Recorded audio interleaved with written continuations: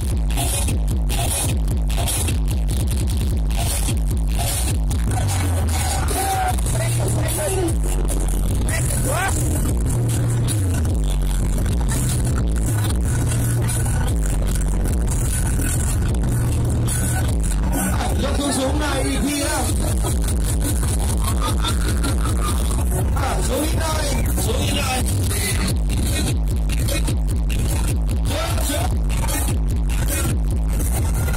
I was here, so lean